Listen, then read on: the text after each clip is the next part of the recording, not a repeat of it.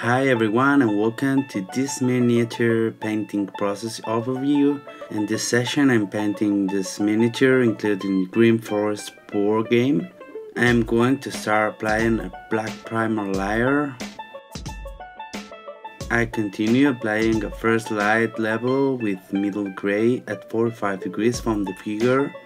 I apply a second light level with white from above. This will be the main light Next, I'm applying details with base tone mixed with the glaze medium. I continue giving contrast by shading and highlighting details. I add extra details in the vase and paint them separately. Well, I hope you like this quick overview and see you in next videos.